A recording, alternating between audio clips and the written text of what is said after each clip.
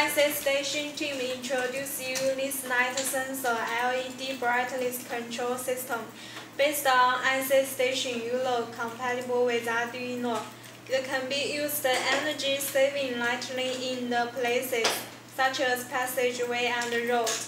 In order to make this product, we need the following components.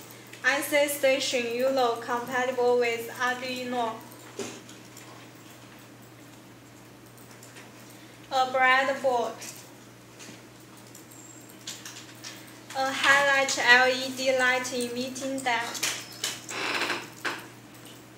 an analog light sensor,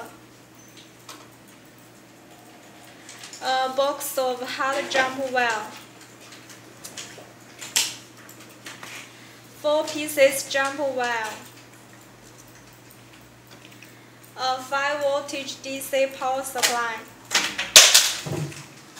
three pins. One piece is 3P dupin line.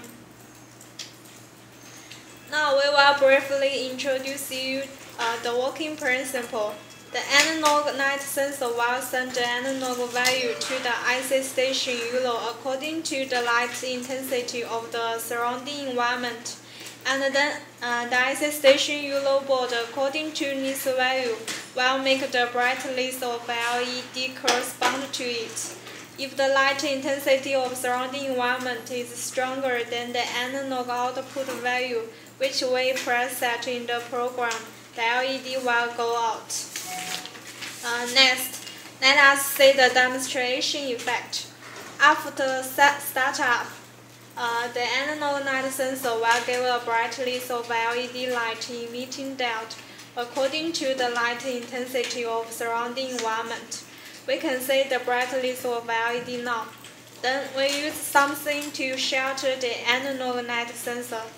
Uh, the surrounding light becomes darker and darker, while the LED becomes brighter and brighter.